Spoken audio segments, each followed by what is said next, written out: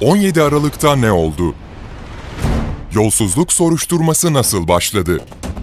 Bakanlar neyle suçlanıyordu? 25 Aralık'ta suçlamalar neydi? İktidarın tepkisi ne oldu? İran'ın parası nasıl aklandı?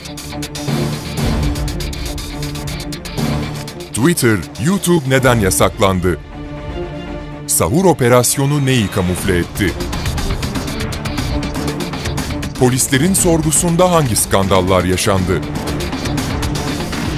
Ergenekon AKP'yi neden destekledi?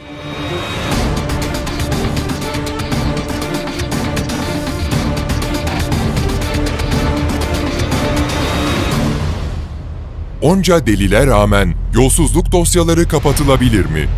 Zaman.com.tr'de